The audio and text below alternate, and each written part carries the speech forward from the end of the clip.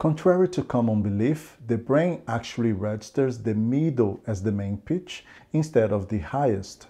If you only vibrate below pitch, you will sound flat, and if you just vibrate above pitch, you will sound sharp. This software uses colors to represent pitch. White means in tune, blue means flat, red means sharp. I will start with below pitch vibrato. Note that as soon as I start vibrating, the note will sound flat.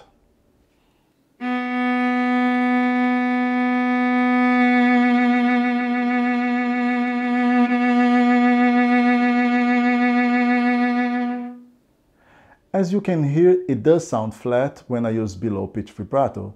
Unfortunately, this concept has been ingrained in our minds, which leads to so many people sounding flat without even knowing the reason why.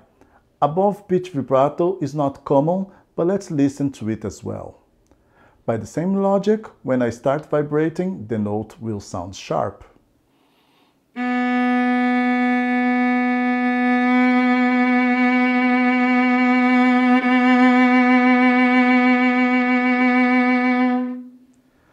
Just as we expected, it sounded sharp as soon as the vibrato started.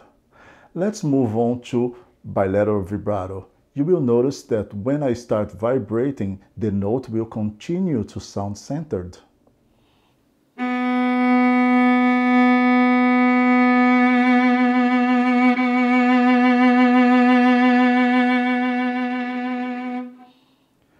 I know it's a very hard concept to leave behind, but the sooner you accept that vibrato is bilateral, the faster you can improve your intonation and vibrato quality.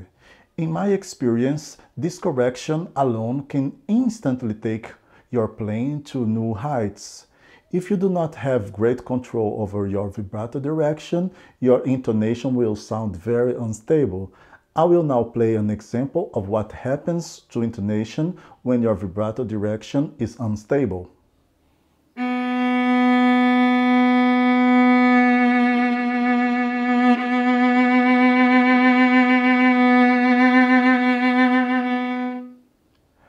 As the example suggests, it can get pretty messy if you do not know exactly what you're doing.